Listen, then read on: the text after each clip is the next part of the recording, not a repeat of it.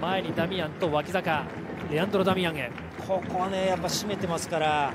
ただ一つ川崎うまくいかなくなった時にですね左サイドあ右サイドにいる。おっと。ワンタッチコントロールで入れ替わった。山田が行くドリブルで運んで1対1流し込んだ。3点目。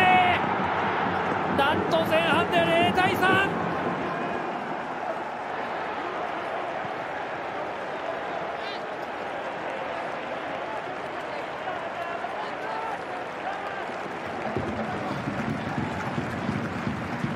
ここね、うまく谷口の前で触って入れ替わりましたよね、えー、その後しっかりとですね谷口の前にコース取りしてですね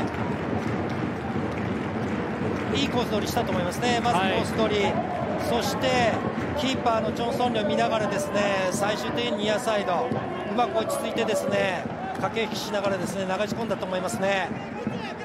それもいい形で入れ替われたことそれと谷口の走るコースの前にしっかり